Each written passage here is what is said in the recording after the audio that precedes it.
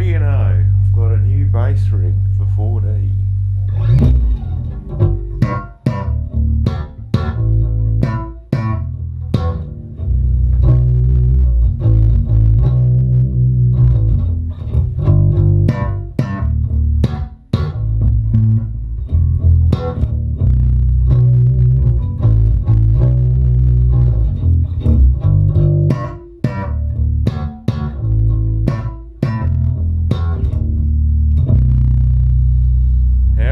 for a